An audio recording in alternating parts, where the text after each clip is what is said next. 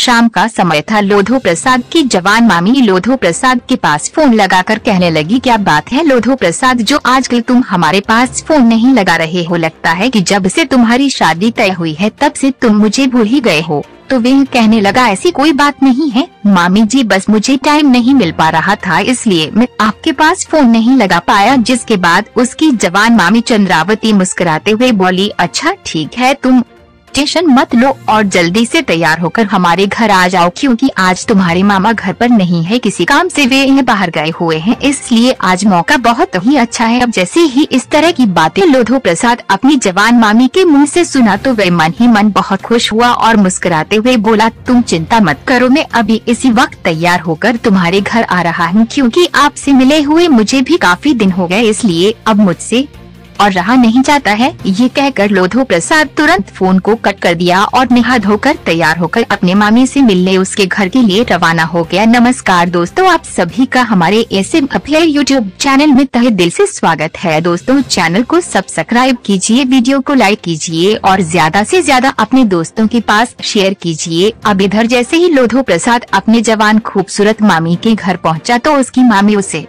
देखकर बेहद खुश हुई और मुस्कुराते हुए बोली, तुम अभी बैठो, मैं तुम्हारे लिए चाय बनाकर लाती हूँ। तो वह कहने लगा, ठीक है, जैसा आप उचित समझो। जिसके बाद उसकी मामी चाय और नमकीन लेकर वापस उसके पास आई और बगल में बैठकर मुस्कुराते हुए प्यार भरी बातें करने लगी। प्यार भरी बातें करने के दौरान अचानक लोधो प्रसाद इतना कामुक हो गया कि वे देर न करते हुए तुरंत अपनी जवान खूबसूरत मामी चंद्रावती को बाहों में भर लिया और अवैध संबंध बनाने के लिए उत्तेजित करने लगा, तभी उसकी मामी उसके होठों पर किस करते हुए उससे अलग हो गई और मुस्कुराते हुए बोली, अभी नहीं रात में, क्योंकि अभी परिवार के सभी लोग जाग रहे हैं, इसलिए थोड़ा सब्र रखो, क्योंकि सब्र का फल बहुत ही मीठा होता है। ये कहकर चंद्रावती वहाँ से वापस अपने रूम में चली आई और रात होने का इंतज़ार करने लगी। अब इधर धीरे धीरे समय बीतता गया और रात हो गई। परिवार के सभी लोग खाना पानी खाकर अपने बिस्तर पर आकर लेट गए। उधर लोधो प्रसाद की जवान मामी लोधो प्रसाद से मिलने के लिए उसका बिस्तर अपने रूम के बगल वाले रूम में लगा दिया और वहाँ से वापस आकर अपने बिस्तर पर लेट गई। अब इधर जैसे ही रात के बारह बजे परिवार के सभी लोग अपने बिस्तर पर सोए तो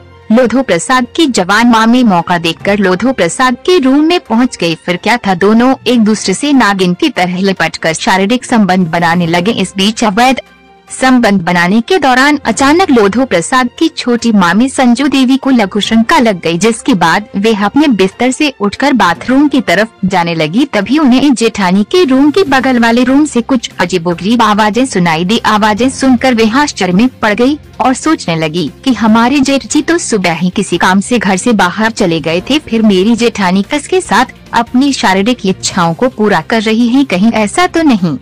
किसी और के साथ उसका अफेयर चल रहा हो, ये सोचकर संजू तुरंत बाथरूम से वापस उसके रूम के बगल वाले रूम के पास पहुँच गई और खिड़की से झाँक कर देखी तो उसके पैरों तले ज़मीन खिसक गई। वह देखी कि हमारी जेठानी अपने ही भांजे के साथ मज़े से शारीरिक सुख प्राप्त कर रही है, लेकिन वह कुछ नहीं बोली और चुपचाप खड़ी होकर अंदर का नज़ारा देखने लगी। अब जैसे ही कुछ देर तक कमरे के अंदर का नज़ारा देखी तो उसके भी मन के अंदर लोधो प्रसाद के प्रति वासना जाग गई, लेकिन वो कुछ नहीं बोली और भांजे लोधो प्रसाद से मिलने के लिए व्याकुल हो गई। लेकिन क्या करे बेचारी जो उसकी जेठानी अंदर थी और पति भी कई महीनों से प्रदेश में था, इसलिए वह मन मार कर वापस अपने रूम में चली आई और जेठानी को उसके रूम में जाने का इंतज़ार करने लगी। अब इधर जैसे ही संजू की जेठानी चंद्रावती अवैध संबंध बनाकर शांत हुई और अपने रूम में गई तो मौका देखकर दबे पाँव लोधो प्रसाद की छोटी मामी लोधो प्रसाद से मिलने के लिए उसके रूम में पहुँच गई और कमरे का लाइट ऑफ़ करके उसके बगल में आकर लेट गई। कमरे में अंधेरा था। लोधो प्रसाद अपनी बड़ी मामी और छोटी मामी में पहचान नहीं कर पाया और छोटी मामी को बड़ी मामी समझकर मुस्कुराते हुए बोला, क्या हुआ मामी? अभी आपका मन शांत नहीं हुआ। क्या लगता है? मामा जी आपको खुश नहीं कर पाते हैं। चलो, कोई बात नहीं है।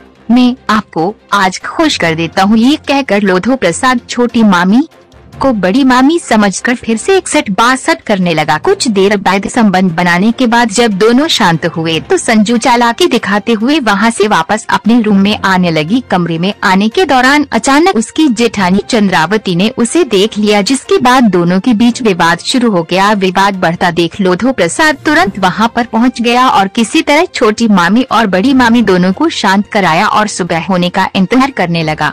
अब जैसे ही सुबह हुआ तो लोधो प्रसाद वहाँ से वापस अपने घर चला आया। तो देखा, दोस्तों, आपने आजकल समाज में इस तरह की घटनाएँ अक्सर सुनने को मिल रही है, इसलिए आप आपराधिक मानसिकता को समझें और सतर्क रहें, अपने परिवार को सुरक्षित